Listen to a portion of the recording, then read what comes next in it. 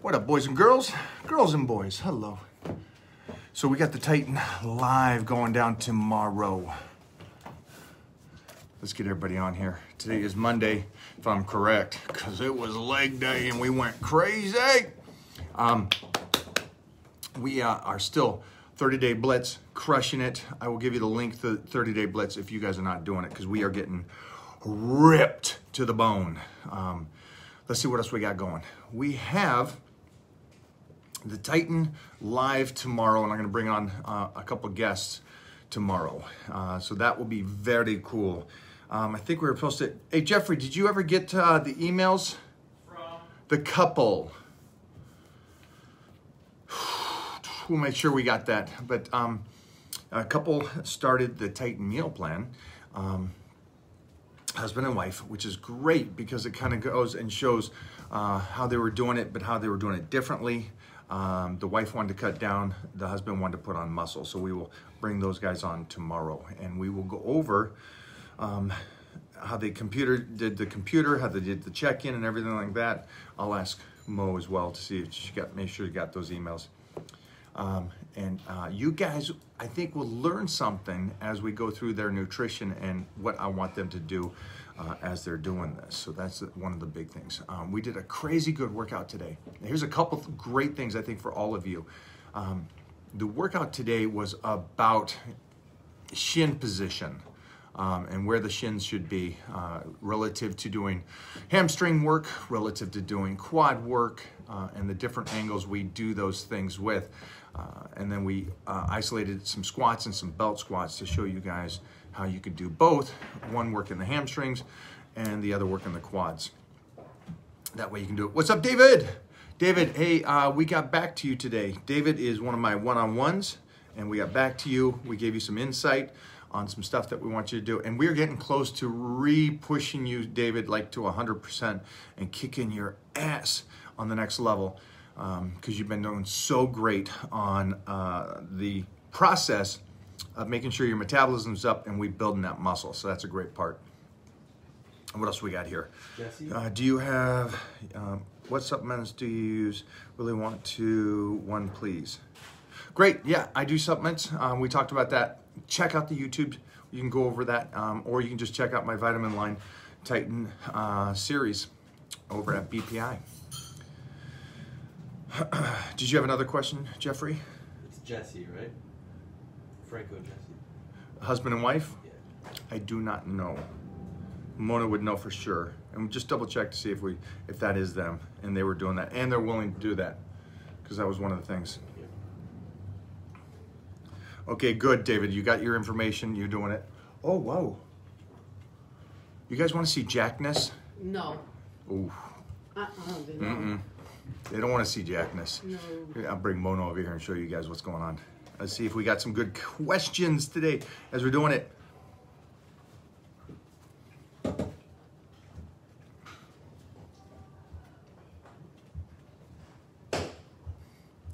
Watch this one. Ready? Right Here's the question. My coach is Ruby. What do you think of him? I don't know. I love him. Love Ruby. I don't know who Ruby is. Just- No one knows. Ruby's so famous, he's a first name. I love Prince, The Rock, uh, Cher, Madonna. uh, Madonna, Sting, um, Ruby? No. Ruby, don't know. Arnold, sorry, I don't think Ruby's uh, first name basis yet. Sorry about that, but that was cute. Um, let's keep going here. Egypt. I will be over in Egypt in uh, January, February. Just want to say hello to my Egyptian friends. Hello, hello.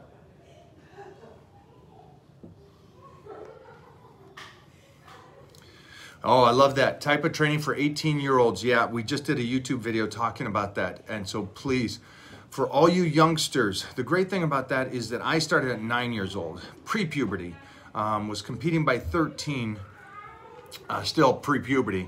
Um, and so there's, a, there's training methods I would use now differently than what I did. And so I talked about that. Then there was also uh, principles I did when I was 15, 16 um, in those teen years that I recommend for you guys to do. And we really went over to depth on that on uh, the YouTube video. So check that out. All you youngsters, check that out. here's the big thing for you youngsters don't waste the time. I know this is going to be a tough thing for you to mentally grasp because you're young. Don't waste the time because it goes fast. And right now, at that young age, is where you're going to put on most of your size that you're going to have as an adult. So don't waste it. Um, don't play around with the nutrition, like just not eating, and you think training is going to get you there. It won't. Trust me, the whole football team's training. And if you go look at the whole football team, they all don't look good. There's only a few that look good. Why is that? So trust me when I say this for you youngsters. Take that time and advantage of you being young. Also for you parents, make note of that. I'm talking to you parents. Start teaching your kids how to eat correctly. Um, that's the benefit that I had from my parents and that, that I'm going to hand down. Um, again, for everybody out there. You're not trying to compete against me. You, you're competing against your own crew right now, and or the titans that are growing up younger than you that are, uh, have parents like me that will make sure that those kids are eating correctly. Titan's a year and a, not even a year and a half, and he's been eating correctly from the day he was born. So imagine you trying to go up against somebody like that when you're only giving 50% and I'm making sure he's giving 100%. That's crazy. That's crazy when you think of it. So, and he's got genetics. So push it, push hard. You youngsters, take advantage of this time. I always kept in my mind, and Jeffrey's heard this too many times, he's annoyed by it, but I always, the cutoff was 24. That to me was my cutoff. I had to get as much muscle as I possibly can before 24, because then it just slows down. Um, and so I just want you guys to keep that mindset that uh, you got to get it before, before 24. Let's jump down here. Um, hello, Mr. Natural 2020. Okay. um, Hmm. I thought it was always natural. Just this year? Hmm. Right. I hope you have friends, buddy. Uh, This is uh, don't know. Does it concern you about how much weight you are lifting as you get older? Wouldn't it be better after 50 to go not as heavy? ooh, great one. Hold up, as you once did, and start working towards mobility and lighter weights. What's his name? Josh. What's Josh's full name? Josh Horbulit. John Horrible, Josh Horbulit. Oh my gosh! Everybody, go over to Josh really quick. So, Josh, an honest question. it's not an honest question because he made a statement on that thing. Josh, wow. So Josh made a made a statement. He first made a question, and he said, "Shouldn't you go lighter um, as you're 50 instead of the heavy weights like you're doing?" Now that's a great question. Just saying, hey, should you go lighter when you get older? Wouldn't Okay. Wouldn't it be better to go lighter when you get older? Now, I'm going to answer that right after I give the second part of his question. The second part of the question was like you used to go lighter for mobility. What are you talking about? I've always gone heavy and I've always worked mobility. That's how I got to do gladiators in my 20s, 30s, and 40s and, and, and still being active now in 50s. So the mobility thing has always been there. The heavy thing has always been there. So that's kind of, you lost me there, buddy. But he didn't say go light as you once did. I thought he said, that's Jeffrey. Sorry. I don't want to, I didn't want to disquote you. What do you say? Wouldn't it be better after 50 to go or to go or not as heavy as we once did?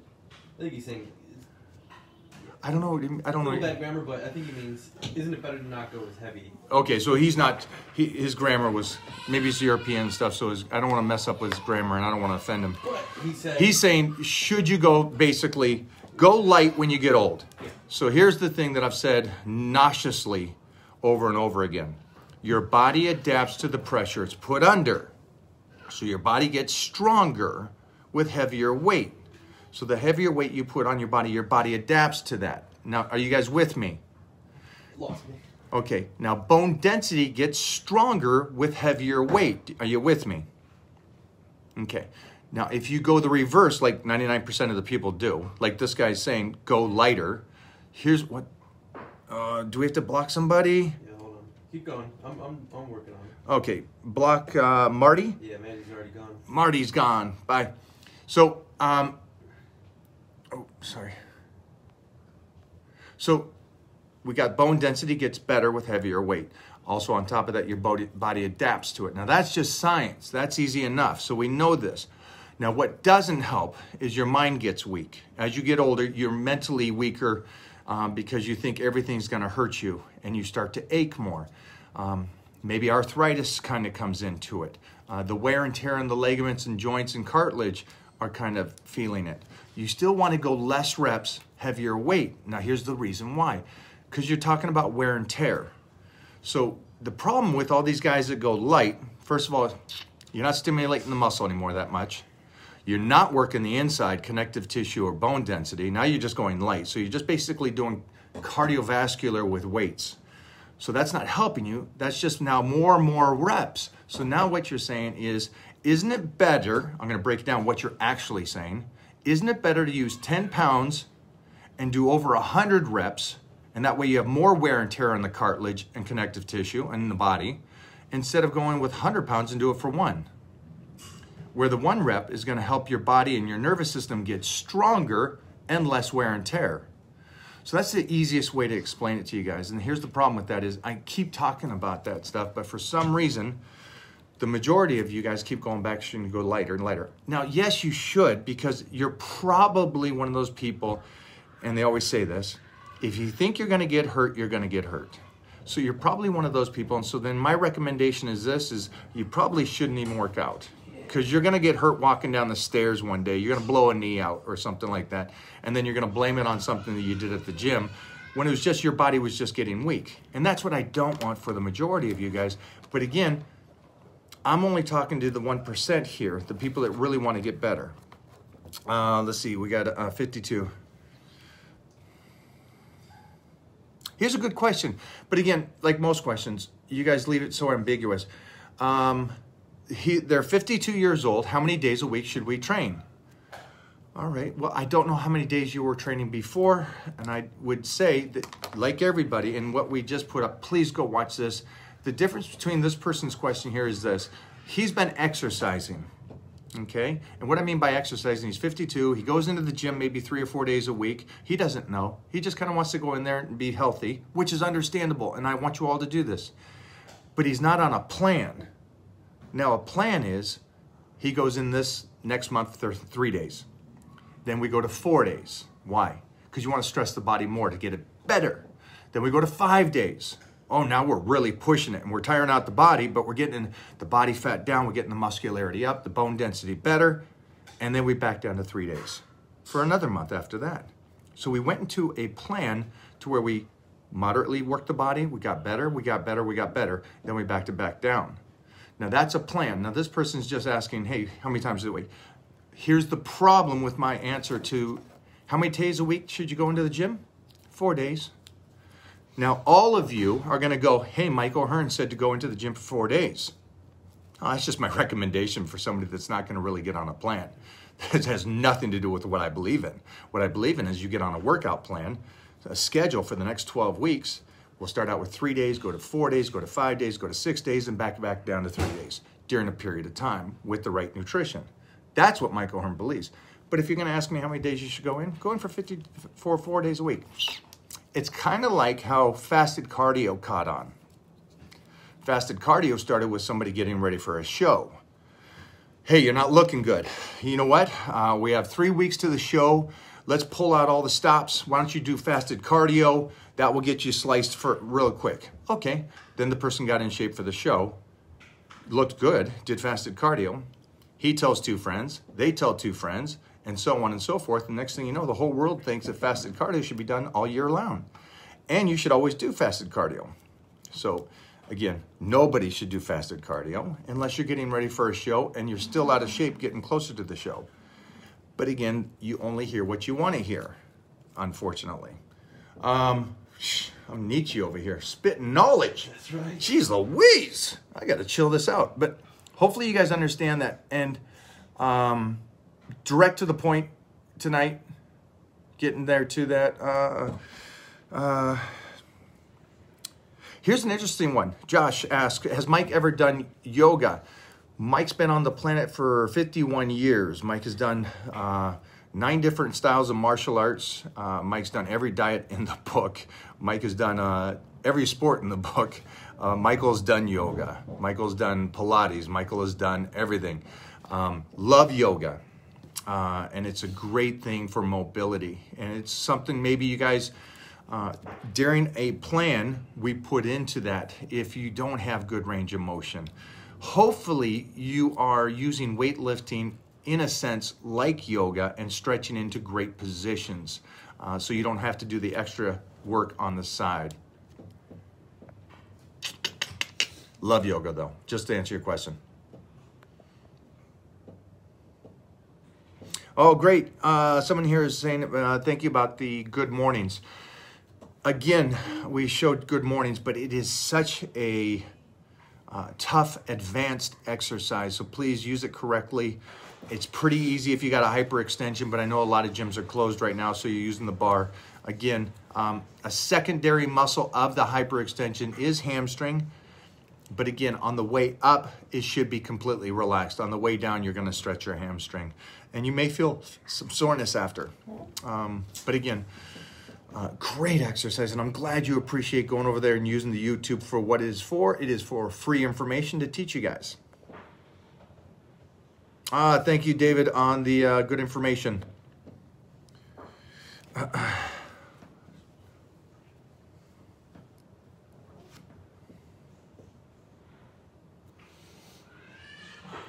here's an interesting one. Nobody's asked me this in a while. Um, and what is your goal in your body to reach your current body? So, my goal, believe it or not, during this lockdown was to heal, uh, was to fix my metabolism uh, and to heal up any um, little aches and um, soreness that I had. So, for me, which again, I hope none of you have to do this, but I had to stay lean and guest pose for seven years. Um, and this lockdown allowed me to not be on stage and uh, go off season. Here's something that a lot of the newbies don't know is an off season is when you bulk up, you put on muscle, you put a surplus of calories in, you feed the body, you get the metabolism working. Uh, you work out heavy and less, which is a great thing because it's less stress on the body, in a sense. Um, you're not pounding it with the cardio and the hard diet, so you're not breaking down the body. And during that time, you should heal up any little aches and pains that you have. On top of that, you get your metabolism working. Again, you get your metabolism working off season, not getting ready for a show or not getting cut. Um, I know that that may shock all of you because visually you may not look like your metabolism is working as well as when you're sliced, but it's actually working 10 times better. Um, so my goal was to put all that muscle, that memory muscle that I lost from dieting so long, um, put that back on, and now slicing up to the best, best I've ever looked in my career. Thank you for the question.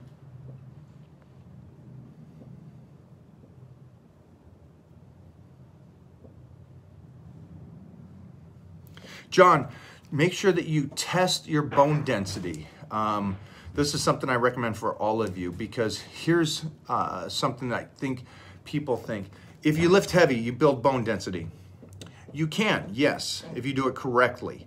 Um, but just walking out with heavy weights and doing nervous system doesn't technically get the bone density going. It's more time under tension with heavy weight uh, in power positions is going to get that bones really strong. Okay, and then you can test it, and that way you can see the process. I know everybody's like, I want to test my body fat. I want to test my body fat. And it's for me, it's like I, I test my bone density. I want to see how strong that is getting, how much thicker that's getting. That way I know how much time I have uh, that I can continue to go. And you guys will understand that when you get older and older and the aches and pains start coming out every day and stuff, and you got to just keep pushing forward, man. It's, it's a battle and you got to love it. Nobody trains every day. I don't know one person that does.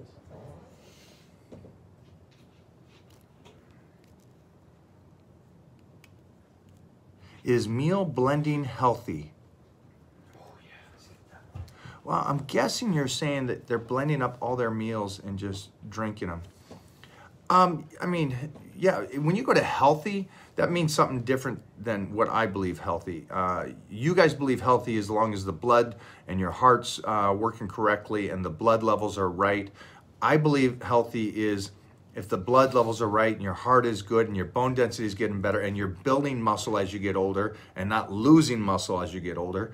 Also, if you get mentally stronger and going, um, I can do less work in the gym, but smarter and get out of the gym, then that's healthy to me. Um, but blending it, the only thing you're bypassing there is the body speeding up to, to process and digest the food. You're just basically drinking it. So um, do it. You know, for, for anybody out there, my recommendation is do everybody's diet. I did. Um, work with different trainers. I did. Um, learn what they know, understand what it is, and then see what works best for you. I, I gave too much good knowledge tonight. I got to call. I, I'm done. Yeah, I'm I'm done. That's it. I got to eat. Um, thanks, guys, for hanging in there. I think uh, this was a, a great one tonight. So much so, I might have Jeffrey just rip this before everybody else does and tries to use it. Um, thanks for the questions, though. Tonight was uh, one of those rarities that there was a lot of good, good questions. Um, and I understand for those that maybe got their feelings hurt about uh, the response. Don't get them hurt. Drop the ego. You're learning. Um, that's the biggest thing. You're learning right now. So the concept of lightweight, I know that sounds good. I know that would be like, of course you go light. You go easier as you get older because you're brittle. Don't think that way, guys. Don't think that way, or you're going to be brittle. All right. Peace out.